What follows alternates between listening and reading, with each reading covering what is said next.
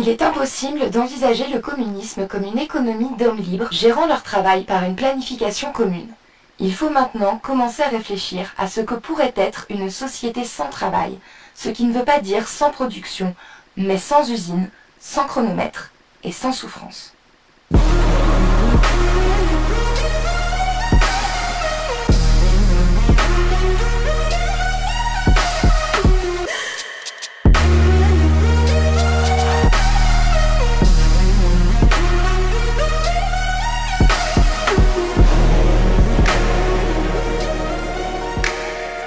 Alors je le dis parce que c'est la vérité.